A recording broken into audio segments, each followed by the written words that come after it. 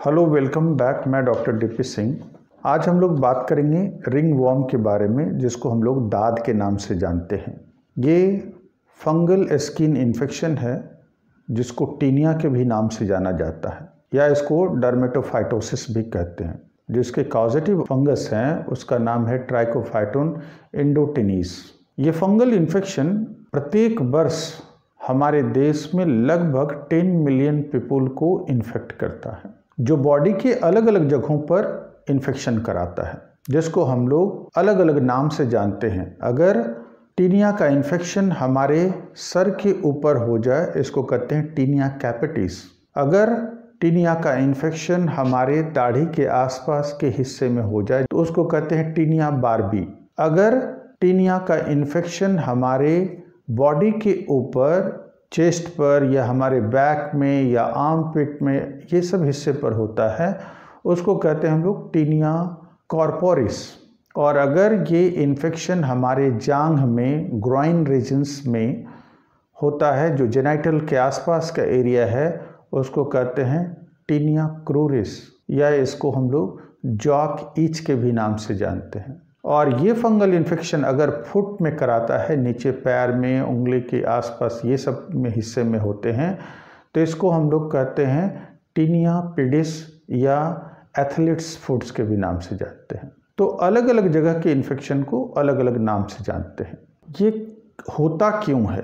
सबसे इंपॉर्टेंट बात है ये किन लोगों में होता और होता क्यों है। तो सबसे पहला कारण है कि ये उन लोगों में होता है जो इन्फेक्टेड एनिमल के साथ काम करते हैं। कभी कभी ये इन्फेक्शन एनिमल को भी होता है। अगर वैसे एनिमल के संपर्क में है तो आपको ये इन्फेक्शन होने की संभावना है।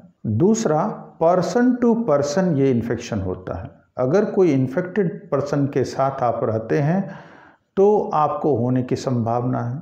तीसरा, अगर कोई इन्फेक्टेड व्यक्ति के किसी वस्तु का आप उपयोग करते हैं तो होने की संभावना है। जैसे तौलिया का आप उपयोग करते हैं या फिर उसके कंघी का उपयोग करते हैं तो आपको होने की संभावना है। या फिर वैसे व्यक्ति जो बहुत ही ओबेज है, मोटा है, मोटे व्यक्ति के जो स्किन होते हैं, वो फोल्ड बनाता है और उस फोल्ड में जब वो पसीना बहुत लंबे समय तक पड़ा रहता है तो ये इन्फेक्शन के कारण हो सकता है। इसलिए कि वहाँ पर हमेशा मॉइस्चर्स रहता है और मॉइस्चर्स में नमी जहाँ पर है, वहाँ फंगस इन्फेक्शन आसानी से ग्रो कर सकता है। इसके नेक्स्ट जो कारण है, वो है आपके बॉडी के इम्यून सिस्टम कमज़ोर होने के कारण। ये इन्फेक्शन आपको हो सकता है। जैसे एचआईवी के पेशेंट्स जो होते हैं, उन लोगों के इम्यून सिस्टम वीक होता है, इसलिए उन लोगों में फंगल इन्फेक्शन ज़्यादा होने की संभावना है। और नेक्स्ट कारण है डायबिटीज़ पर्सन वैसे व्यक्ति जिनको ब्लड शुगर कंट्रोल नहीं होता है उन लोगों में भी ये इन्फेक्शन होने की संभावना ज़्यादा है। और इसके नेक्स्ट कॉजेज़ हैं, वैसे व्यक्ति जिनको काफ़ी पसीना निकलता है और हमेशा उनका शरीर भींगा होता है तो मॉइस्चर्स हमेशा होने के कारण इन्फेक्शन होने की संभावना ज़्यादा है। और इसके बाद जो नेक्स्ट कॉजेज़ हैं, वो है wearing of tight cloth and underwear अगर आप टाइट कपड़ा पहनते हैं तो ये जब पसीना चलेगा तो ये सभी पसीना आपके कपड़ा में पड़ा रहेगा। हवा वहाँ उस एरिया पर स्किन में नहीं लगता है। ट्रैप हो जाता है आपका पसीना, जिसके कारण मॉइस्चर्स बनाता है और ये इन्फेक्शन होता है। तो ये सभी कारण है जिसकी वजह से टीनिया के इन्फेक्शन आपके स्किन पर हो सकता है। अगर टीनिया का इन्फेक्शन हुआ है स्किन पर तो आपको क्या लक्षण देखने को मिलेगा? सबसे पहला, ये इन्फेक्शन जब आपको ये इन्फेक्शन होगा एक व्यक्ति से, दूसरे व्यक्ति से या कहीं से आप ये इन्फेक्शन लाए हैं तो इसको ग्रो होने में समय लगता है। इंक्यूबेशन पीरियड जिसको कहते हैं, चार से चौदह दिन का समय लगता है जब ये आपको लक्षण दिखने लगेगा। और इसमें क्या लक्षण दिखेगा? तो सबसे पहला ये जिस जगह पर इन्फेक्शन होगा, वहाँ पर बहुत ही ईचिंग होगा। और धीरे धीरे क्या होगा? वहाँ पर रेड रैसेस बनेंगे। रेड रैसेस कैसा होगा? सर्कुलर होगा, गोल जैसा रिंग जैसा होता है, इसलिए इसको रिंग वॉर्म भी कहते हैं। और जो नेक्स्ट होते हैं, वो एरिया क्या होगा?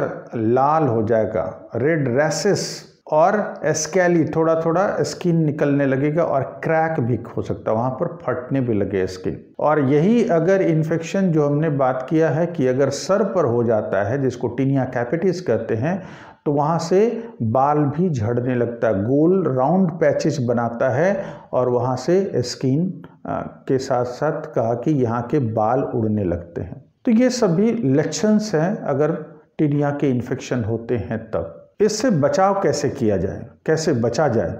इससे बचाव करने के लिए सबसे पहला है कि जब भी किसी आप संक्रमित जानवर को छूते हैं तो सबसे पहला अपना हाथ को अच्छी तरह से साफ़ कर लें। पहला। दूसरा आप अपने किसी निजी वस्तु को किसी के साथ शेयर ना करें, जैसे तौलिया और कंघी। तीसरा, अगर किसी हिस्से पर, आपके बॉडी के किसी हिस्से पर ये दाद का इन्फेक्शन है तो उसको ज़्यादा खुजलाएँ नहीं। अगर आप ज़्यादा खुजलाते हैं तो इसके स्पोर जो है, वो निकल कर आपके बॉडी के दूसरे हिस्से पर इन्फेक्शन कराएगा। चौथा है कि अगर कोई हिस्सा आपका बॉडी का संक्रमित है और अगर आप उसको खुजलाते हैं और हाथ को साफ़ नहीं करते हैं और बॉडी के दूसरे हिस्सा पर जब आप उससे खुजलाते हैं तो आपका इन्फेक्शन एक स्थान से दूसरे स्थान पर ट्रांसफ़र हो रहा है। इसलिए ज़्यादातर लोगों में देखा जाता है कि इन्फेक्शन कहीं हुआ है, लेकिन बॉडी के दूसरे हिस्से में भी इन्फेक्शन पहुँच गया है। जो पांचवा बचाव है, जब कभी भी आप स्नान करते हों या पसीना है तो आप स्किन को बढ़िया से साफ़ करें। स्किन को सुखा लें। साफ़ सफ़ाई का ज़्यादा ध्यान दें। और छठा, हमेशा कपड़ा ढीले ढाले पहने, जिससे कि वहाँ पर स्किन के आसपास हवा पहुँचता रहे और एरिया ड्राई रहे, जिससे कि जो मॉइस्चर ख़त्म हो जाए, फंगल इन्फेक्शन की संभावनाएँ कम हो जाए। अगर आप इसको इग्नोर करते हैं तो ये इन्फेक्शन आपके शरीर में धीरे धीरे फैलने लगता है और बॉडी के बहुत सारे हिस्से टीनिया के इन्फेक्शन से ग्रसित हो जाते हैं, जिसको ठीक होने में भी बहुत समय लग सकता है। इसलिए समय पर इलाज कराएँ और पूर्ण रूप से इसका निदान पाएँ। धन्यवाद। मुझे आशा है कि आप लोगों को जो जानकारी दी गई है वो अच्छा लगा होगा।